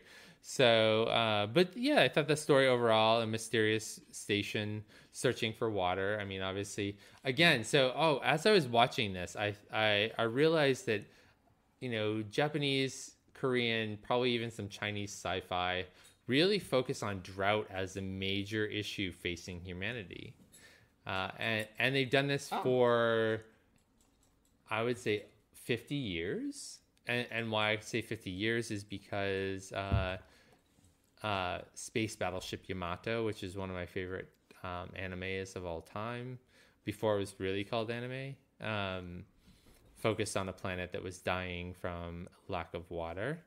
Uh, so I, I'm just finding that a lot of sci-fi, you know, sci-fi shows from Asia that talk about near or you know more realistic sci-fi talk about drought and water and uh, re- re- reseeding the earth or helping the earth and so i thought that that was interesting that was an interesting realization to me Huh. was this was also focused on drought and rationing of water and uh, things like that. So uh, it's it's a great story. It's an you know I thought it was a very compelling story. Uh, there are some boring archetypes for our- the secondary characters, um, and there are some things that aren't completely explained that you kind of have to fill in a little bit. Right. Uh, Still enjoyed it. yeah, still enjoyed it. Eight eight I thought it was episodes. well done. Eight episodes, yeah. Um, kudos to Kor- South Korea for having two of the top Netflix shows. Not And- North Korea. South Korea. No, I, I said South Korea. I know, I know. I'm just saying Yeah, not North I was Korea. gonna say Korea, and then I had No, to clarify. like South Korea. So, but Korean uh, shows. So kudos Right. to them. They're, I mean, they they're definitely uh, on the more um, what's the word I'm looking for? Um, I don't know. depressing side of life, like the um, Sure. I mean, there's a plenty of depressing American sci-fi. I need, I want to watch Station Eleven. Have you heard about the show? I have I've read the book, so Oh.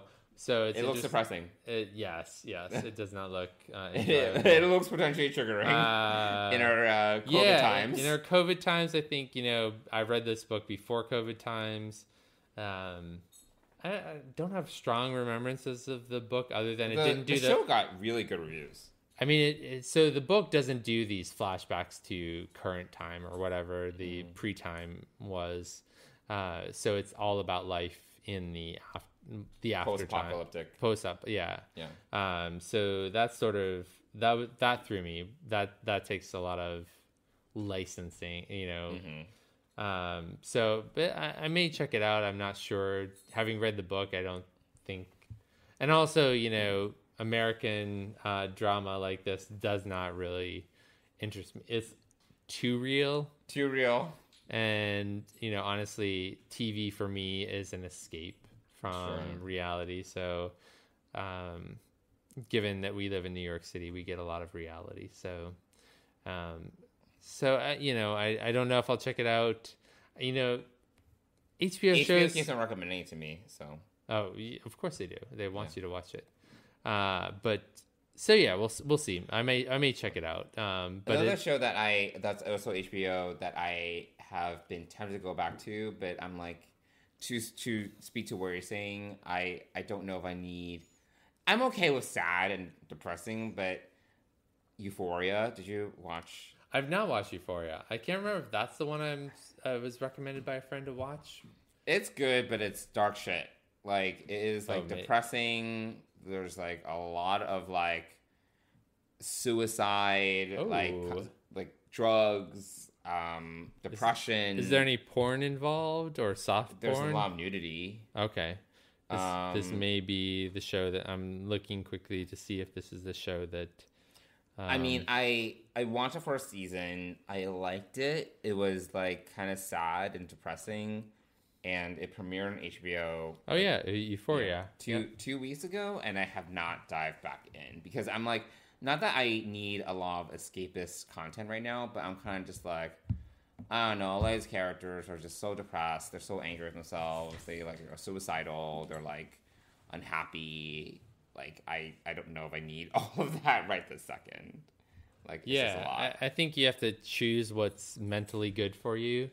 uh, and why you watch TV or a show is is for escapism from reality. And if reality is a little um, too real for you right now, which it can be if you read the news, um, then you know I, I, I don't know that I, I need more like I need more Wheel of Time type fantasy, which Yeah, I'm watching Snowpiercer, that just came out on HBO Max. I think the the, two the first first yeah the Yeah. first season was on TNT I think. Yeah, but now both season one, season two are on HBO Okay, Max, so I'm kind of going through that. Okay, It's not bad.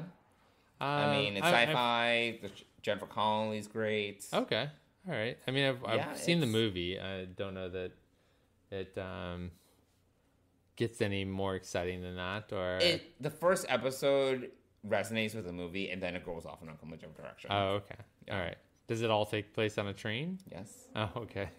yes, correct. Uh, um, okay, so there's that to possibly check out. Uh, so you're giving me more to check out, but so far nothing super. I mean, you gotta watch Foundation. That's what I'm saying. You gotta watch Foundation and the Morning Show season two. Yes, but we've we've talked about me adding more services. Just add a month. Just do it for a month. I'm not even. I'm not asking for the blood of your firstborn. It's like four ninety nine. Yeah, no, it's um, Do you want? Do you want me to give you five dollars? no, it's not even about that. It's just you know, it's it's just signing up for something and then not watching it. You're gonna watch it. You're gonna have plenty to watch between Foundation and the morning show and where are we going? Oh, okay, it's a dog. And um, what else is coming? Don't watch Invasion. That that shit's dumb. It was so bad. But it got re- Invasion did get renewed for season two, so I don't I don't know. Whatever. I'm not in a rush to watch the rest. Of what is okay? It's not play with your dog time. It is time for us to record our podcast. I am trying to distract the dog so he will Just let him do his shit. Just like let him do go- his shit. I had to go get his ball, which had gone out of uh, out of the way, and I was trying to rush back here, and then he saw me running and wanted to chase after me. That's all. I'm not technically playing with him. I was trying to get his ball, which rolled out of his reach, and yes, this is you know this is life with a pet. Sometimes he is extremely annoying, and when it's just me, uh, because Dennis is away, um, this is what happens. So, uh, yeah, so there's a lot. Do you think he's wondering like where is this other person? Like So he goes crazy when we're on FaceTime and he can hear Dennis, but he um, he looks around and kind of like goes crazy, like where is that voice coming from? Where is he? Where is he? And wants to look for him. So that's it's cute. but the last two nights we've not done that because uh, it gets him really wound up and it's hard to calm down. So uh, anyway, so yeah, that's life with a pet. Um, and it's you know it's ten o'clock and uh, we're just shy of our nighttime walk here before going to bed. So He has to uh, have another walk. yes, we have we have uh, yes. Wow. Yes, All it'll, right. it'll make it so he can. So actually, I can not have to get up at like seven in the morning and God.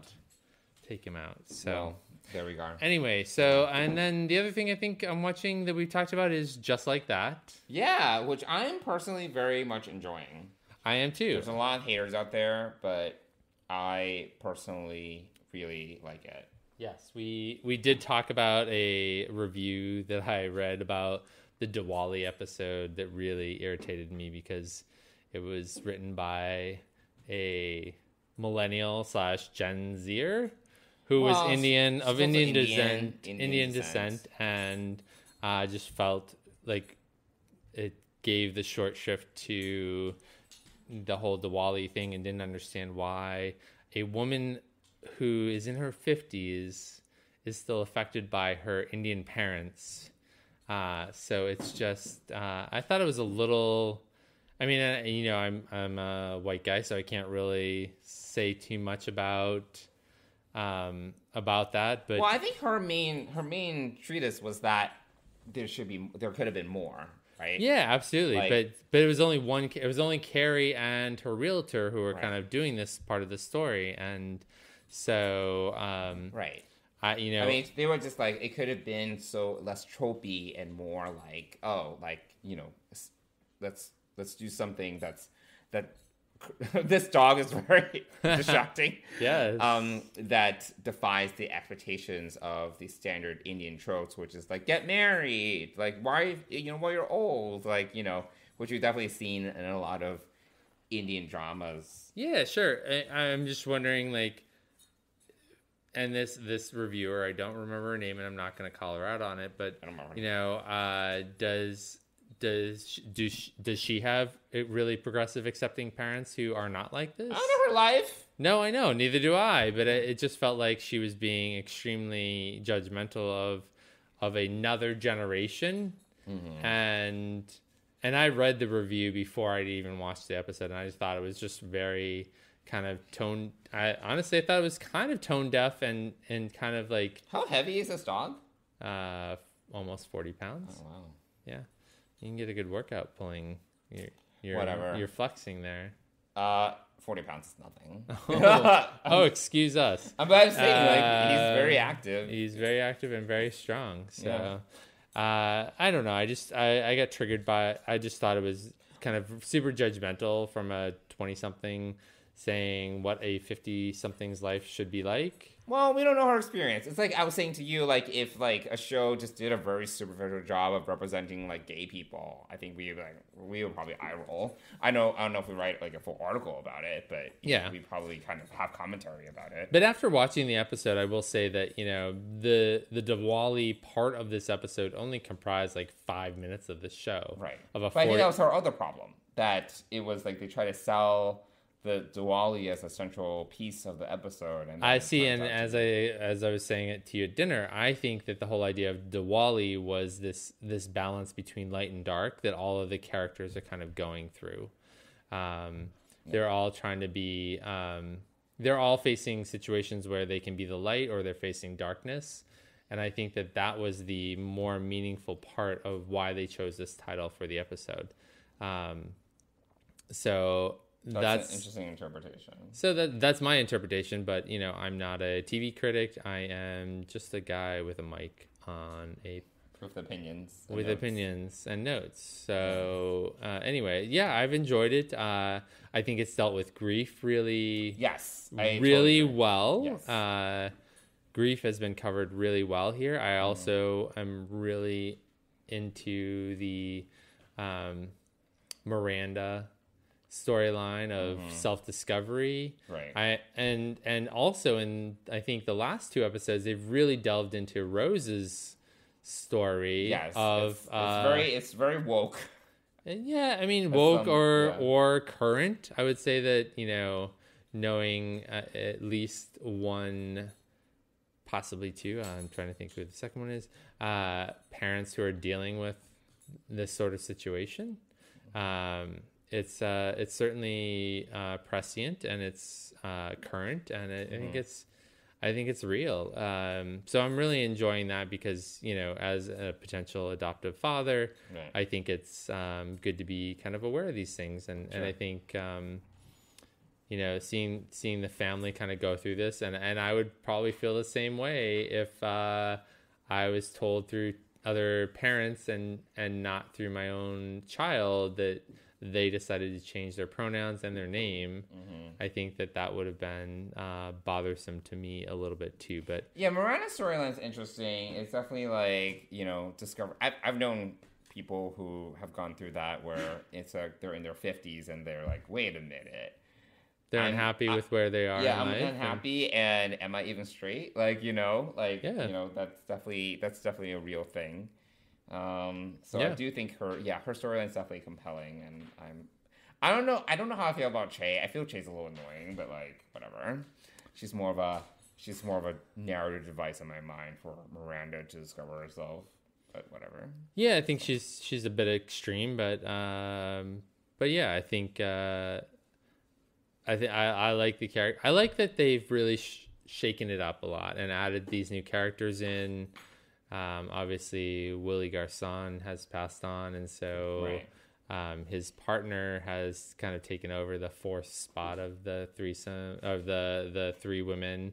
Um, and uh, I was also I felt for um, Carrie when she reached out to Samantha and she said I miss you and there wasn't that there was kind of that empty space There's of no response. yeah there was no response um, so I felt for for Carrie in that situation but I was happy that she kind of reached out to Samantha and had that connection again Yeah. but it didn't obviously didn't lead anywhere uh, other than to more kind of upset and and they they really jumped around with time like we're ti- like it's almost been a year Oh, it's been confused. Yeah, the Yeah. time is a little confusing. I don't time, really time's been a little confusing in this but It's like, or is it like Discovery? Is there time travel? uh, i mean there definitely is but i also think they had to do that because grief does take a Right. Mm-hmm. lot of time and we don't need to see carrie going through Yeah.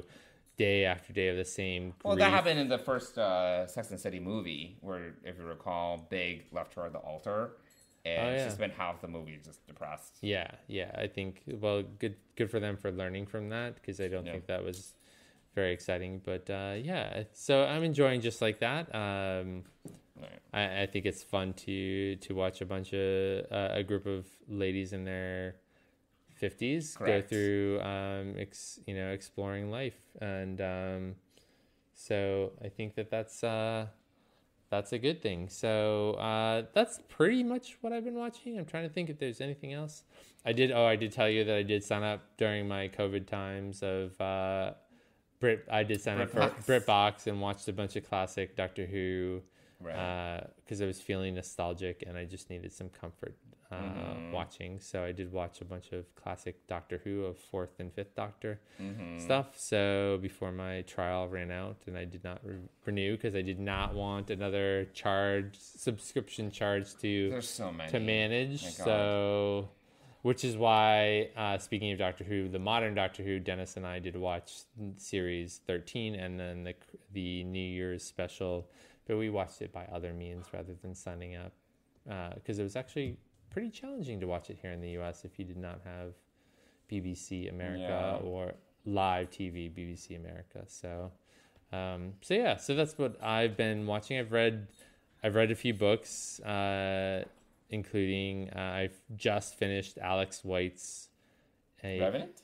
uh, well, no. So, so I learned about Alex White from that book, Revenant.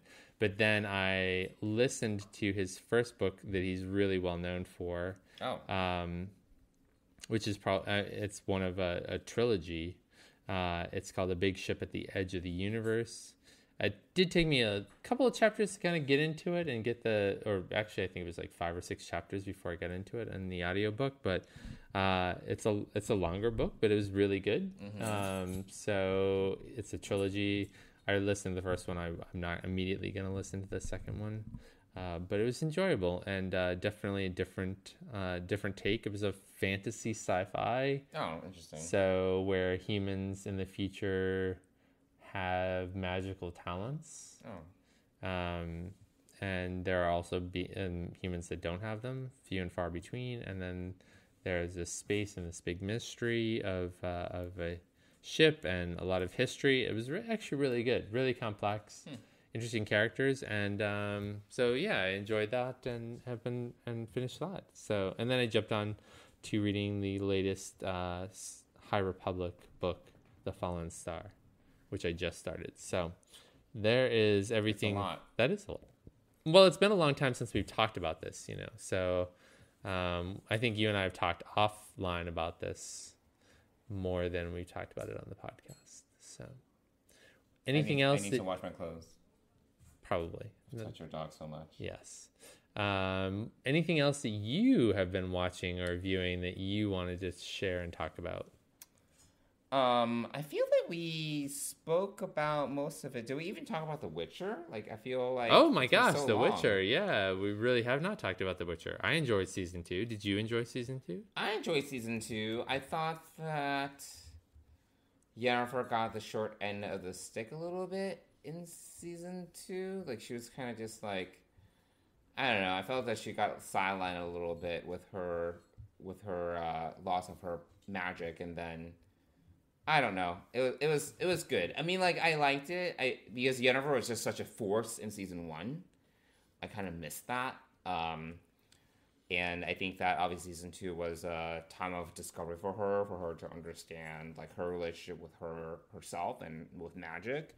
But I kind of feel that it took a while to kind of get there. Like it took the we- whole season. Well, yeah, and we also have the whole.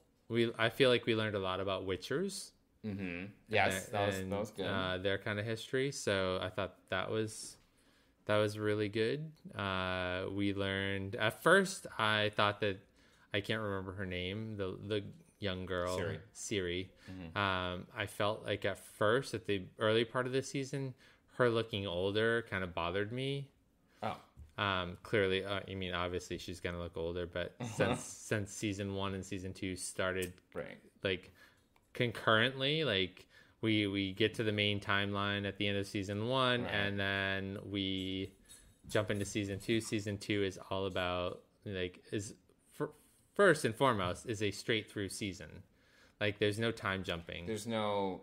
so like, yeah, there's we no, don't like, have tiny to whiny nonsense. yeah we don't so we don't need to figure out what's going on when it's all happening in a in a straight timeline which is uh, helpful uh, so there's that um, I really enjoyed it. I'm looking. For, I really. I mean, I'm sure we're another year away from season three. least, yeah. Uh, yeah, at least. Um, but I'm really enjoying. I really enjoy. I mean, looking at Henry Cavill, but also uh, I, I just enjoy his character, and um, I enjoy the, the, the way that the the journey has kind of evolved for The Witcher, um, and also all the you know all the all the impact of all this storyline on the Witchers, the group that he belongs to, like Mm-hmm. and, and their castle, right? So or their I don't know their I don't remember what it's called. I know their their stronghold. their chateau, their stronghold in the mountains Their chateau. um, which has already been destroyed and, and beaten up, and there's more holes in it than there are in uh, city streets in New York City. So, um, so yeah. So, uh, that did you have any other thoughts on The Witcher? I'm sure we can do a whole episode on The Witcher. I mean, like, I, I did enjoy this season. Like I said, I wish Yennefer had more presence. She was just. I felt like this this season was more about It's more about Ciri and G- Geralt yeah, Geralt. um, than I think Yennefer. I just. yeah, Yennefer was just so memorable in season Yeah. one, and you kind of rooting for her the whole time. yeah, um, where I, I kind of felt that this season we didn't have as much of that in her character, which I kind of missed. And I feel that, again, this is a thing with The Witcher, and maybe this is a thing with some of the other shows we enjoy, like The Expanse. They kind of just like throw these pronouns at you, and I'm like, I don't know what you guys are talking about. Like, you know, these names and places and people. And oh yeah, At a the, point, the way like, I that have no idea. yeah the way that the Um, world is because we we get into the elves this There's season. a lot, yeah. There's a lot of like B, C, D, E plots, like you know the machinations of the elves, and then that other witch that's with um with what's that kingdom? Ne- Nen and something. Oh, I don't. I don't even know the kingdoms' names. That's how. like Nilheim, Nef, Nefheim. oh yeah, Nilheim or something. Um, yeah, and then the like witch, the witch in the forest, and that. Oh yeah, that, that, whole piece. mythology was a little bit. I was like, where is this coming from? Yep. And like, and then um, I yeah, there was there was a lot going on, and then there the plotting with like the other mages, and then some of the royalty. It was like there was just a lot happening, and then I I not I'm not quite sure it all kind of came together at the end, other than like everyone's out to find Ciri now. Everyone knows Yes. that Ciri has elder blood Yes. and she is gonna tip the scales of like the world or whatever. So I think that was kind of the gist. But and then I- the there was just, ending, like- right? Then then we have the ending. then we find, then we find like the emperor of Nilheim is Ciri's father or whatever. It was just like there was a lot going on. Um, and some of the things I just did not really care about, like some of the elf stuff, I was like, all right, it's fine. And then like, if you remember, like the elf queen, like kind of formed a relationship, a friendship with like the witch in Nilheim, Right. and then. I was like, is there something going on here? right. I was just like I don't know. There was a lot. Well, that was on. really, you know, yeah. I thought that the whole storyline was interesting because there was lack of trust, and there they built trust, and then they blew the trust. Right. And I'm still. Are you clear on who killed their the elf child? Uh, Yeah, the emperor did. oh, the emperor himself did, or yeah, the emperor did because he the emperor wanted the elves to turn against the the human? north, Oh, okay. which they did Huh. because the witch and the other guy. There's so many characters. The witch and the other guy, the general, were like, "Oh, we did it." Like, remember, like, Right, right, like, yeah. Oh, we we did this because we we were plotting, and you know, this is the plan all along. Yeah. And the emperor was like, "Whatever, bitches, you, I did it." Right. Yeah. You know, it was just like a lot. There was a lot of like scheming, a lot of machinations. I was like, "Is this The Witcher or is this Gossip Girl?" Like, there's just a lot like backstabbing and planning and scheming and. I, to a point where I was like, I don't know who these people are anymore. I don't care. So, Yeah, I thought that it wasn't clear as to who was uh, who the Ciri's father was until you know the very end, and we did it was, see a it was just like I think there was like they they tried to shove a lot in, and then Yeah. like then you have like the Wild Hunt, which honestly is not that well explained. Um, you know that it's like this like apocalyptic like horseman kind of deal, Oh, but you right, don't really yes. know like you don't know that. you don't really talk about it. They're hinted at a lot. We see them Yep. but it's like there's not there's some of the mythologies is not expanded on and then we're just left guessing like that's the other thing that I'm kind of just like we're kind of just we kind of need to kind of make assumptions or like whatever Right. Yeah. No. Sometimes it does that they just like throw everything at you and like hope it lands Well, and they're they're you know they're following the book the book series to some extent. a little bit of book a little bit of the video game it's like Oh right. Yeah. it's Yeah. like, I don't know. yeah. So it's kind of an amalgamation of yeah of different sources and things. So. Um, Oh, Oh. my god. Okay, well, for our loyal listeners, there's been a slight catastrophe. Plant was knocked over in Mike's apartment because the dog got too rambunctious and Mike got too excited throwing the ball. So here we are. Oh, is well. So, whatever. I can't deal with that shit. In any case, here we. I, I'm not helping you with that. No, it's fine. It's fine. Yes. It is fine. Yes.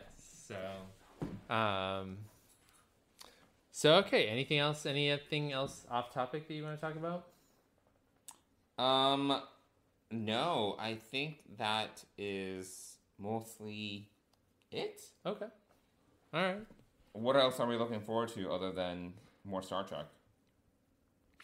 Uh, I don't have anything to look forward to. Nothing? I mean, it's very bleak. Uh, It's very bleak, bleak, bleak television wise. All, all I have is Star Trek to watch now, right? Uh, there's no more should- Expanse. yeah. Uh, oh, the Book of Boba Fett. We did, which we did not talk oh about. Oh my god, I have so many notes. Yeah, let, so many let's notes. save let's save Boba Fett for next week. I We'll talk so about much feedback. Yeah, that's a Oh whole another. So the Book of Boba Fett, I think, is the only other genre thing that's, That's right. live and happening right now. Other Oh than that, it's just uh, that and uh, yeah, um, yeah. Oh, I did. Oh, I did go and see. Dennis and I went and saw the Amazing Sp- uh, the know, Spider-Man uh, No it. Way Home.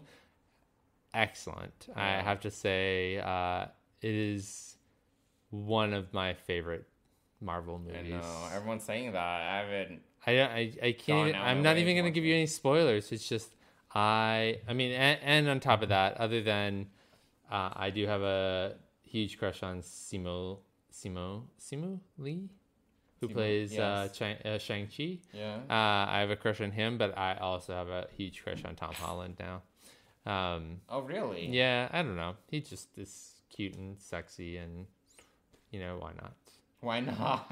um, but yeah, uh, yeah, you get to see him as boxers. I mean, he's cute. He's he's good to look at, and yeah, you, you feel for him throughout this entire movie. So, uh, yeah, a lot of great feelings from this movie. By far, one of my favorite Marvel movies in recent memory. Sa- Shang Chi. By the way, the only movies I have gone to see since the pandemic hmm has been Shang Chi and Spider Man. Yeah, I saw Shang Chi in theaters, and then also Eternals, which was okay. So I uh, we did watch Eternals on um on Disney Disney, Plus. Mhm. That was good. I could have waited for Disney Plus. I, I don't. Oh I don't yeah, need- yeah, don't need to see it yeah. No, I'm glad I waited for Disney Plus. I did also watch uh the final James Bond, James Bond 25, No Time to Die. In which- theaters? uh, no, I watched it here. I bought it on. Oh, you bought it? I bought it and watched it. Look at Um, you. yeah, you know, I'm a bit of a completionist, and I had a few of the movies in iTunes, and uh, yeah, I just decided to buy the ones, and I actually. So that's the other thing I wa- I did watch uh, watch the last couple of I I don't I didn't watch Casino Royale. I think I watched Quantum of Sol- Solace and Onward.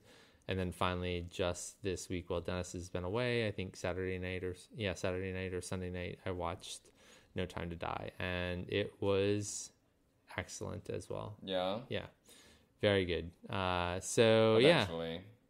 So yeah, so yeah, quite a bit of quite a bit of TV. But now I feel like we're in the dry spell.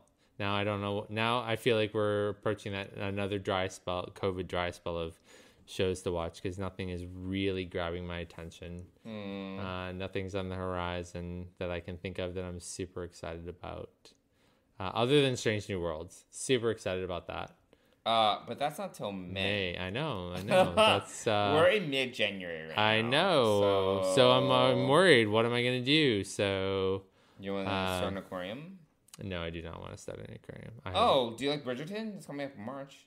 oh yeah. I, I mean, I watched the first It's not series. sci-fi, but It's yeah. not. I did watch the first. We did watch the first season of Bridgerton, and I think the captivating, uh, the captivating point of season one is the regent or the cat. What is this? the Duke, The Duke. the, the main dude. Yeah, Renee.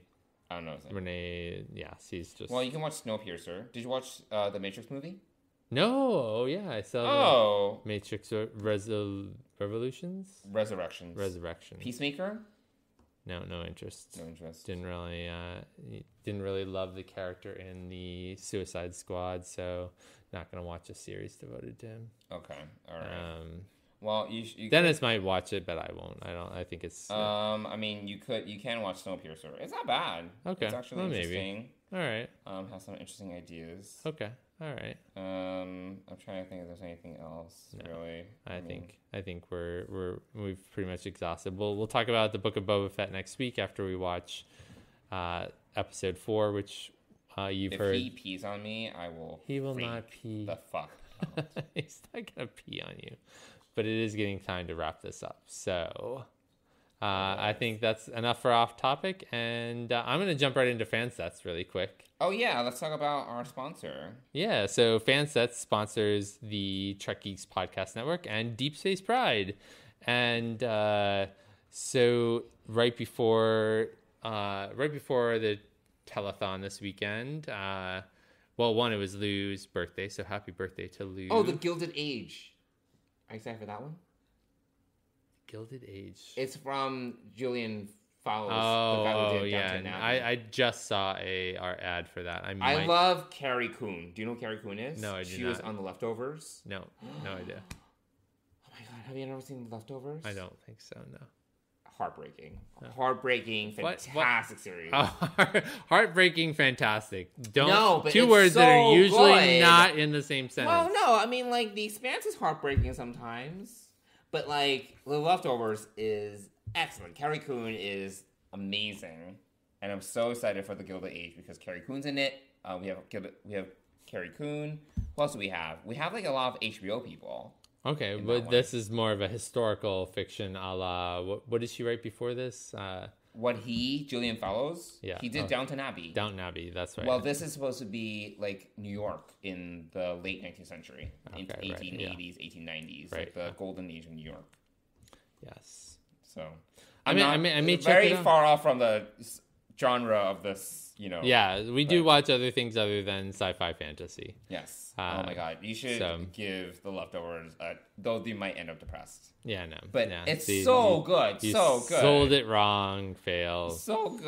Anyway, let's go back to talking about. Yeah, it's fan This is, this happens every time that we talk about Fansets. We have one more thing to talk about before One we more thing. in the middle of the in our sponsor ad I'm. here. You know why? Because I'm going through like my HBO app to see Oh, what else there okay. Well, maybe put down your phone and pay attention. Be present. in Okay, but you're the one that talks about Fansets. I don't talk about Fansets. You talk about Fansets, and then at the end, I'm like, "Thanks, Fansets," and that's it.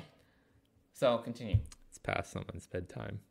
Uh, he needs an, his evening nap. He oh he didn't have his evening nap. Anyway, um, so Fansets supports the Trek Geeks Podcast Network and Deep Space Pride, and we are so happy for their partnership with us.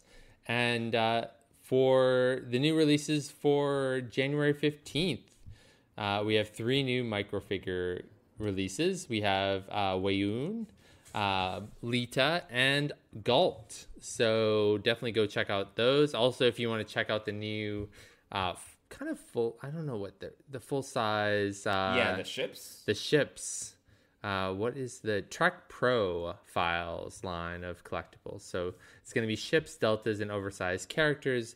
They are starting out with the Enterprise refit as their first one, and that's going to come out in uh, in April. I believe it's going to launch at Mission Chicago. So super excited about that. You can't order that yet, obviously, but uh, it is on their webs. Uh, it is on their Instagram. I didn't necessarily find it on their website, but you should go over to Fansets on Instagram and follow them there, and you'll keep up to date on all the latest pin collectibles that they sponsor and if you uh, that they create.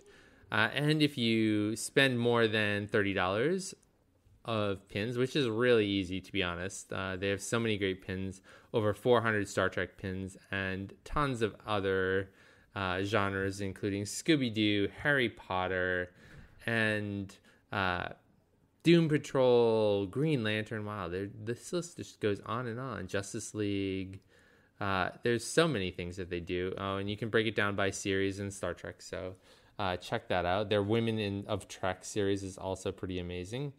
But if you go and spend thirty dollars, uh, you're gonna get free shipping, and if you use the code DS Pride, all one word, all caps, you're gonna save an amazing ten percent off your order. And we want to thank Fansets for being our exclusive sponsor of Deep Space Pride and the Trek Geeks Podcast Network.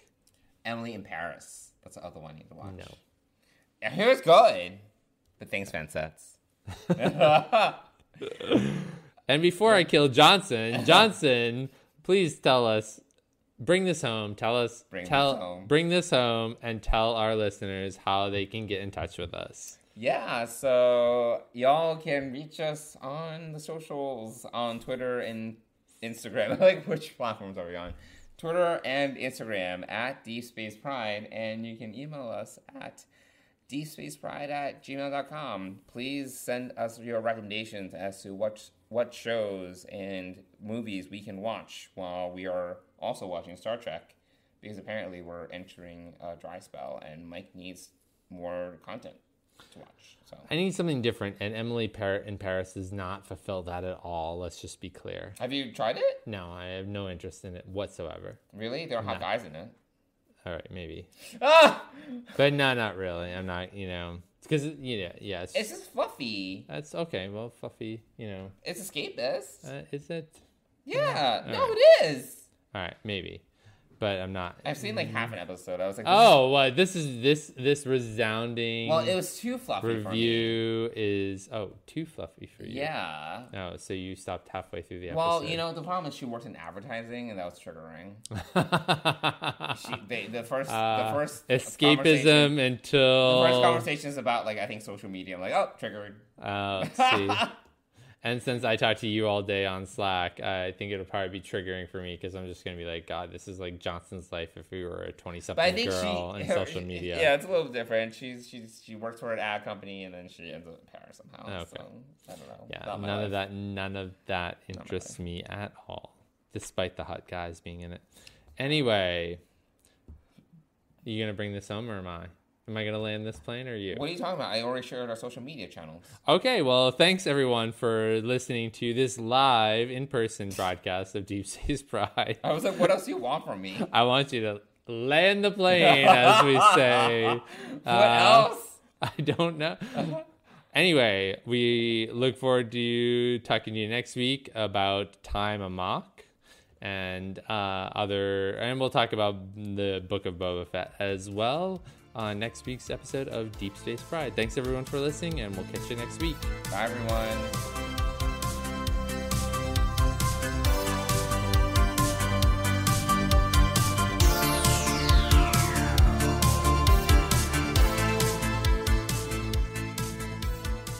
Deep Space Pride is a production of Coconut Media Works. Executive producers Bill Smith and Dan Davidson. For more great Star Trek discussion, discover the other shows of the Trek Geeks Podcast Network at trekgeeks.com or find us in Apple Podcasts, Spotify, or your favorite podcast app.